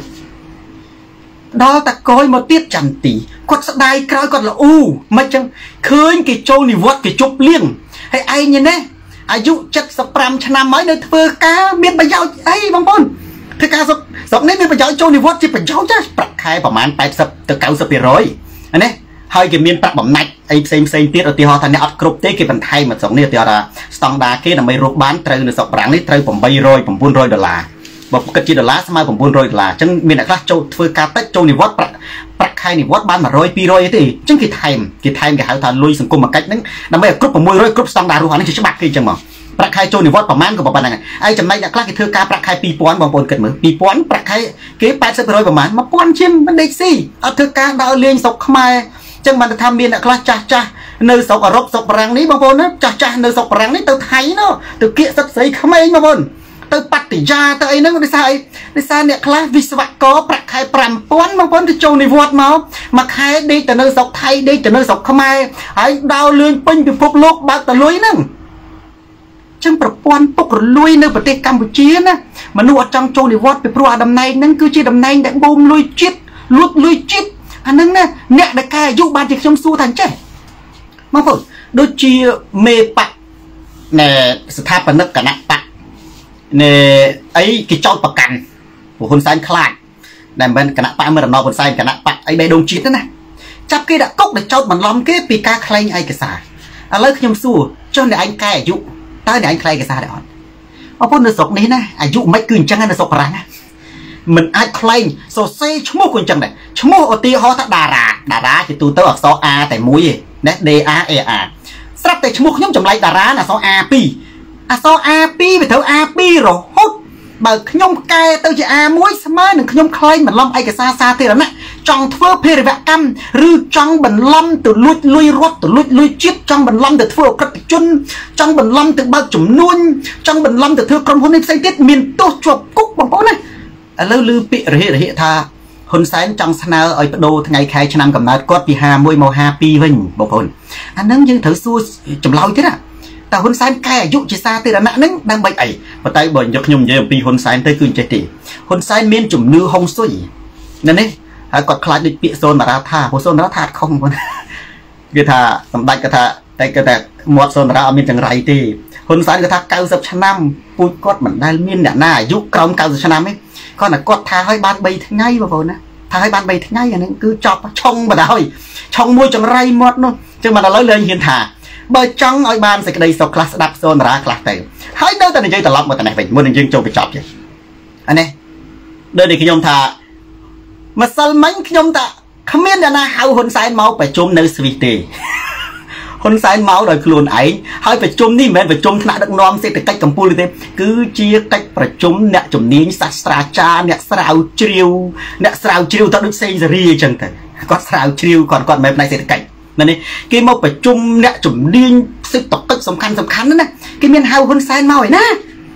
ហើយគណៈបព្វជិជនសាមីសនរានិយាយបែបជេរបចោតែខ្ញុំថាឲ្យខ្ញុំលើកទឹកចិត្តហ៊ុនសែនបង្ហោះថ្ងៃនឹងហ៊ុនសែនបង្ហោះថាសនរានិយាយត្រូវរឿងអីគាត់បង្ហោះប្រជុំជាមួយសាស្ត្រាចារ្យប្រធានអង្គការអ្នកជំនាញសេដ្ឋកិច្ចគ្រប់រូបថតដែលគាត់បង្ហោះថ្ងៃនេះអត់មានជាមួយមេដឹកនាំកំពូលដល់ទាំងអស់អញ្ចឹងដែរកន្លែងហ្នឹងហើយដែលគណៈបកប្រជាជនភ្លុកទឹកភ្លុកដីមកជឿសនរាមកថ្ងៃក្រោយឃើញហ៊ុនសែនគឺរូបភាពបោកអានឹងបោកអញ្ចឹងឥឡូវខ្ញុំសួរថាហ៊ុនសែនគាត់បង្ហោះអីឥឡូវខ្ញុំថាទៅស្អែកទៅសល់មួយថ្ងៃទៀតកិច្ចប្រជុំនឹងមុនទៅវិញ ធ្វើម៉េចកាត់តខ្ញុំបើកឲ្យហ៊ុនសែនតតាំងឲ្យកាច់តថាធ្វើម៉េចណាឲ្យថាសូនរានិយាយខុសខ្ញុំថាអត់ខុសទេមែនបងប្អូនហើយគណៈបព្វជិជនណាស្រីនាងគេយកអានឹងមកអួតអួតអីអួតត្រូវមាត់សូនរាថានេះខ្ញុំថាមិនសិនមិញចឹងអញ្ចឹងសរុបសេចក្តីមកវាអត់មានអីទេគឺការដែលកែអាយុចូលនិវត្តន៍នេះគឺអត់មានអីក្រៅតែពីណាបូមលុយដើម្បីរក្សាលុយជាតិទេប៉ុន្តែខ្ញុំដាក់ជាសំណួរចុងក្រោយ តើការដែលកែអាយុចូលនិវត្តន៍វាជាបទល្មើសក្លែងឯកសារសាធារណៈត្រូវជាប់គុកដោយប្រធានគណៈបកបេះដូងជាតិដែលត្រូវបានគេថាក្លែងបន្លំឯកសារដែរទេហើយបើហ៊ុនសែននាំមុខការពារកែអាយុដើម្បីកែហុងស៊ុយខ្លាចស្លាប់ខ្លាចឆុងហ្នឹងណាតើហ៊ុនសែននឹងត្រូវមានទោសដែរឬទេអញ្ចឹងខ្ញុំផ្ដល់ចំណេះដឹង3ចំណុចណា ដែលបងប្អូនខ្លះគាត់ដឹងអ្នកដែលនៅក្រៅប្រទេសដែលគាត់ដឹងអ្នកខ្លះដែលគាត់មិនដឹងទី1នៅស្រុកបារាំងគឺគេជប់លៀង3ដងធំធំដកអាពីវិពីចេញបាច់និយាយខុសកំណើតជប់លៀងទី1ប្រឡងបាក់ដប់ជាប់សំខាន់ណាស់ជីវិតរបស់អ្នករៀនណាបាក់ដប់នៅស្រុកបារាំងអ្នកជាប់បាក់ដប់គឺដូចមានថាប្រាក់ខែទៅធ្វើការផ្សេងផ្សេងទៀតដូចមិនក្រោម2000ទៀតបំផុតហ្នឹងដឹងតែមានជំនាញល្អល្អការងារល្អល្អឲ្យជាប់បាក់ដប់ឡើងទៅមានជំនាញល្អល្អទី2គឺគេជប់លៀងណា នៅពេលណាដែលបានបានបើកបរឯចំណែកទី3គឺគេជប់លៀងពេលចូលនិវត្តន៍នៅប្រទេសកម្ពុជាគឺអត់ទេណាហើយដែលខ្ញុំលើកឡើងរឿងចាស់ចាស់ហ្នឹងគាត់ខំតម្លាក់អាយុស្រាប់តែគេចូលនិវត្តន៍ទៅគាត់75ឆ្នាំហើយអាយុក្នុងឯកសារត្រឹម65ធ្វើការរហូតចូលនិវត្តន៍បានតែ2ឆ្នាំស្លាប់បាត់ចឹងប្រិយមិត្ត share វីដេអូនេះទៅកាន់ប្រិយមិត្តដទៃទៀតទូរទស្សន៍សូនតារា ស្រាត់ខោជន់ផ្ដាច់ការផ្លាស់ប្ដូរផ្នត់កំណត់យើងឈានចូលទៅដល់ចំណុចចុងក្រោយសំណួរចម្លើយនិងបញ្ហាផ្សេងផ្សេងបាទរាជហូគាត់តបទៅអ្នកដតី Tiger Forest វិបត្តិអត់ការងារដល់ក្មេងៗត្រូវបងណាដល់ទៅពេលអញ្ចឹងទៅជារីយ៉ាងក្មេងៗអត់បានការងារធ្វើទេចំនួនមនុស្សដែលកែអាយុមិនចូលនិវត្តន៍នៅក្នុងគណៈបកប្រជាជនយើងមើលមិនតិចលានទេឧទាហរណ៍ថាបើ1លាន ឬក៏ថា100000មន្ត្រីរាជការចាស់ចាស់ដែលត្រូវឲ្យដល់អាយុចូលនិវត្តន៍ហើយត្រូវកែអាយុតម្លើងដើម្បីមិនចូលនិវត្តន៍ណាអញ្ចឹងវាត្រូវឲ្យយុវជន100000នាក់បាត់បង់ការងារធ្វើគណៈបកប្រជាជនបងប្អូនត្រូវមើលឲ្យច្បាស់ណានៅក្នុងអំឡុងការបោះឆ្នោតនេះគឺយើងនឹងច្បាស់ឲ្យវិនិច្ឆ័យហើយដល់បើយើងទៅមើលទូរទស្សន៍គណៈបកប្រជាជនគេឲ្យយើងមើលតែសន្តិភាពគេឲ្យយើងមើលអាកំណាប់កាប់ឃ្លោកដូចពួកប៉ុលពតវិសោតមហាអស្ចារមហាលុតផ្លោះរុងរឿងលើសសម័យអង្គរនេះឡុងនេះ អានឹងគឺជារឿងធម្មតាទេសម្រាប់ពួកកុម្មុយនីសខាងសូត្រកំណាប់នោះប៉ុន្តែបងប្អូនត្រូវសង្កេតមើលកន្លែងនឹងឲ្យច្បាស់បាទសាស៊ូគីក៏តបទៅអ្នកដតីបាទនឹងបងសីហាអត់មានទេលីផាត់បាក់ដប់ស្មើនឹង high school បាក់ដប់ដូចខ្មែរយើងខ្មែរយើងប្រើប្រព័ន្ធបារាំងបាទដែលលីអ៊ុយនៅបារាំងប្រឡងបាក់ដប់ដូចគ្នាហើយបាក់ដប់សំខាន់ខ្មែរយើងបាក់ដប់ក៏សំខាន់ដែរបងប្អូនតែពិតបងប្អូនដឹងទេណាបាក់ដប់គឺជាស្ពាននៃអ្វីអ្វីទាំងអស់បើបងប្អូនប្រឡងធ្លាក់បាក់ដប់ មកខ្មែរយើងមានគេមានរៀបចំប្រព័ន្ធមួយគេហៅថាបរិញ្ញាបត្ររងប៉ុន្តែដូចជានៅស្រុកនេះគេឲ្យមានបាក់ធ្លាក់បាក់ដប់គឺអ្នកអាចទៅធ្វើអ្នករៀនជំនាញនេះទៅរៀនជំនាញដាលីអ៊ុយមែនរៀនជំនាញនៅជំនាញជំនាញផ្លតភ្លើងជំនាញចាក់បេតុងជំនាញជាងមាសម៉ែជំនាញស្អីទយោជំនាញគេឲ្យរៀនជំនាញមែនទេអត់អាចបន្តទៅអាគេហៅថាថ្នាក់ឧត្តមសិក្សាដែលមានដែលធ្វើការខ្ពស់ខ្ពស់ធ្វើការល្អល្អប្រាក់ខែខ្ពស់អត់ទេ ណានេះគេឲ្យមនុស្សនឹងទៅរៀនជំនាញហ្មងជំនាញដេស្បែកជើងក៏ដោយជាជំនាញធ្វើសោក៏ដោយមែនទេប៉ុន្តែកុំភ្លេចថាវាជំនាញនៅក្នុងប្រទេសបារាំងជំនាញខ្លះជាសថីហ្មងណាអ្នករៀនខ្ពស់បានតែល្អមើលវាដូចតែគ្នាសំខាន់រឿងដែលមុខរបររកស៊ីមុខរបររកស៊ីរបស់គេនឹងរីកចម្រើនប៉ុន្តែខ្ញុំគាត់តែចង់និយាយថានៅប្រទេសកម្ពុជាគេមានស្ពានមួយធ្លាក់បាក់ដប់គេមានរៀនបញ្ញាបត្ររងហើយទៅតយកបញ្ញាបត្រទៅរៀននៅស្រុកនេះអត់ទេបាទអាហ្នឹងខ្ញុំមិនដឹងថាតើប្រព័ន្ធណាអានអថ័យសម្បូរនៅប្រទេសកម្ពុជាយើងគឺគេនៅតែអនុវត្តអាហ្នឹងឬយ៉ាងណាបាទអនុវត្តអាហ្នឹងក៏វាមិនខុសដែរវាគ្រាន់តែជាគូជួយការអភិវឌ្ឍធនធានមនុស្សដែរហ្នឹងណាវាជួយឲ្យមនុស្សខ្លះអត់អត់ឱកាសហ្នឹងបានឡើងទៅពីព្រោះមានពេលខ្លះបាក់ដប់វាប្រឡងទូទៅពេកអញ្ចឹងប្រព័ន្ធប្រទេសកម្ពុជាប្រឡងបាក់ដប់ហ្នឹងគឺជាប្រព័ន្ធបារាំងមកណាមិនមែនជាប្រព័ន្ធខ្មែរបកកើតទេខ្មែរយើងកែប្រែបន្តិចម្ដងបន្តិចម្ដងប៉ុន្តែបើយើងនិយាយទៅប្រព័ន្ធអប់រំនៅក្នុងប្រទេសកម្ពុជានឹងបច្ចុប្បន្ននៅ70%គឺជាប្រព័ន្ធបារាំងនៅឡើយទេមុនឆ្នាំ2000 មុនឆ្នាំ2000ឬចន្លោះក្រោយឆ្នាំ90ទៅណាបាក់ប្រព័ន្ធអប់រំនៅក្នុងប្រទេសកម្ពុជាគឺប្រព័ន្ធបារាំងសុទ្ធសាធហើយបើនិយាយពីមុនឆ្នាំមុនចំនួនប៉ុលពតចំនួនលុនណុលចុះចំនួនសង្គមរាជនិយមហ្នឹងគឺប្រព័ន្ធអប់រំនៅក្នុងប្រទេសកម្ពុជាប្រព័ន្ធបារាំងសុបសាទដូចគ្នាទាំងអស់អត់មានខុសទេកូពីយកមកទាំងដុលឥឡូវកែប្រែខ្លះប៉ុន្តែបាក់ឌុបនៅដដែលនេះបាទអញ្ចឹងបាក់ឌុបសំខាន់ណាស់នៅក្នុងប្រទេសបារាំងនេះអ្នកណាប្រឡងជាប់បាក់ឌុបគឺស្មើនឹងហោះបាទហោះមានស្លាប់ណាអឺ សូរិយាចិត្តស្មោះបាទ Red Moon ខ្មែរយកពុនតាមយកប្រព័ន្ធតាម USA បាទឥឡូវកាត់ណាតាមប្រព័ន្ធអាមេរិកខ្លះកាត់ប៉ុន្តែនៅបារាំងច្រើនដោយអាមេរិកក៏មានប្រឡងបាក់ឌុបទេដឹងខ្ញុំអត់បានដឹងដែរអឺ David Joe Unisco បាទខេមរាកូនខ្មែរប្រធានាធិបតីអាមេរិកអាយុ82ឆ្នាំគ្រាហ៊ុនសែនអាយុ70ឆ្នាំអឺ សូណានថៃគ្រូបង្រៀននៅបារាំងខ្ញុំមិនដឹងដែរយើងនៅស្រុកនេះបើយើងនិយាយទៅគ្រូបង្រៀននៅបារាំងមិនដឹងជាប្រាក់ខែប្រហែលខ្ញុំមិនដឹងដែរប៉ុន្តែវាមិនក្រោម2000ទេបាទប្រាក់ខែគោលប្រហែលជា2000ជាងណា2000ទៅ3000ហ្នឹងគ្រូបង្រៀននៅស្រុកបារាំងបើតាមខ្ញុំគិតទៅបើតាមប្រាក់ខែគោលចង់និយាយថាប្រហែលជា2200អីចឹងហ្នឹងណាចូលដំបូងអាចពី1008 1009វាវាឡើងរហូតណាតែជាទូទៅគ្រូបង្រៀននៅស្រុកនេះ គឺវាសម្បើមបងប្អូនណា យើងទៅប្រៀបធៀបអត់បានទេប្រាក់ខែគេប៉ុណ្្នឹងមែនប៉ុន្តែអត្ថប្រយោជន៍ច្រើនណាស់ដូចជាវិសមកាលរៀនឈប់រៀនឈប់ហ្នឹងគ្រូបង្រៀននៅស្រុកបារាំងរៀនទៅគេខ្មែរយើងប្រើពាក្យបារាំងដែរបាកងវិសមកាលអាហ្នឹងដល់ប្រាក់ខែដែលឈប់ច្រើនជាងគេហើយប្រាក់ខែចូលនិវត្តន៍ប្រាក់ខែប្រាក់បំណាច់បញ្ហាសុខភាពអីវាមានគុណសម្បត្តិច្រើនណាអញ្ចឹងមនុស្សអត់សូវខ្វល់អត់ពុករលួយអត់ខ្វល់ខ្វាយរឿងអត់លុយចាយរឿងអីទេវាមានមនុស្សល្អធម្មតាមនុស្សទៅឲ្យប្រាក់ខែមួយលានក៏វានៅតែល្អវានៅតែអត់ខ្វះដែរមនុស្សវាត្រូវអាសារជាតិរបស់មនុស្សទៀមទាប៉ុន្តែបើនិយាយពីភាពគ្រប់គ្រាន់ គឺគ្រប់គ្រាន់បើយើងមើលទៅហ្នឹងប្រហែលជា2005បើតាមខ្ញុំមើលទៅនៃចូលសុបប្រាក់ខែសុបរបស់គ្រូបង្រៀនហ្នឹងខ្ញុំមិនដឹងដែរបើមានអ្នកដឹងគឺគាត់ជួយប្រាប់ខ្ញុំតែតែ2005 2500ដុល្លារយើងនិយាយជាដុល្លារឆាប់យល់បាទអាសុទ្ធសរេតស័កម៉ាស៊ីហ៊ុនសែនមនុស្សឌឺបំផុតមនុស្សល្ងងធ្វើចេះបាទ ការពិតគឺអញ្ចឹងហើយអេលេណាឡាក់នៅម៉ាឡេស៊ីក៏ចឹងដែរអ្នកប្រឡងបាក់ដប់អនណាស់បងប្អូននៅស្រុកបារាំងនេះអត់មានអីសបាយចិត្តជាងជាប់បាក់ដប់ទេជាប់បាក់ដប់គឺស្មើនឹងថែមស្លាប់ឲ្យខ្លួនឯងសូហ្វីយ៉ាសែងបាទកាលខ្ញុំនៅស្រុកខ្មែរធ្វើបានបើកបរ150ដុល្លារបាទមុនមកស្រុកបារាំង កំអីកំពុងរៀនកោតឡានបារាំងបែកញើសបាទមិនដឹងកាលបានទេលើក្រើណាសូសូវីយ៉ាសៅបងប្អូនណាខ្ញុំមើលសូវីយ៉ាសៅទៅបាន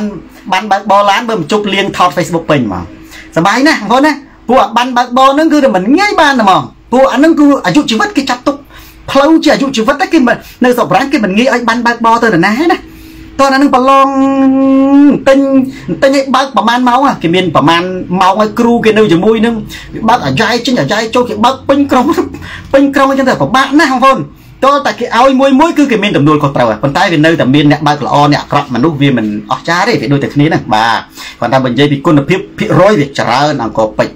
រដូវសំពះសុំសន្លឹកឆ្នោតដាញ់ញៀនធូរវុធ2000ជាងថាច្រើន នៅខ្មែរ400បាទ 400អាហ្នឹងតែអត្ថប្រយោជន៍គេ2000មិនផ្សេងទេបងប្អូនណាវាបើនិយាយប្រាក់ខែមិនទាន់កាត់អីវាអាច3000ជាងព្រោះប្រាក់ខែខ្ញុំនិយាយនេះគេហៅប្រាក់ខែដែលគេកាត់ពុនកាត់អីហើយហើយណាប៉ុន្តែវាមានអត្ថប្រយោជន៍ច្រើនទៀតដូចជាវិសមកាលអីចឹងទៅដូចជាទៅព្យាបាលមន្ទីរពេទ្យដូចជាយើងមើលអត់ដឹងទេអត្ថប្រយោជន៍ច្រើនសឹងថា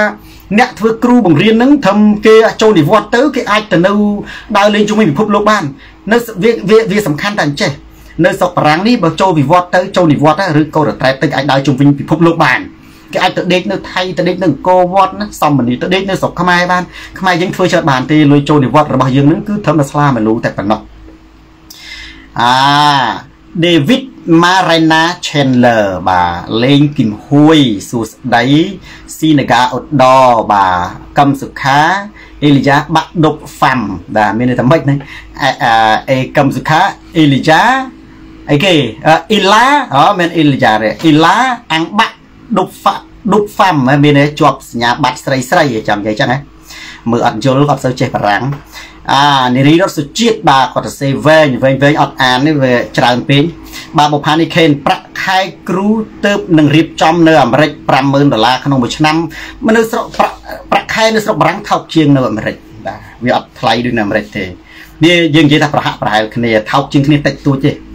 ណាហើយ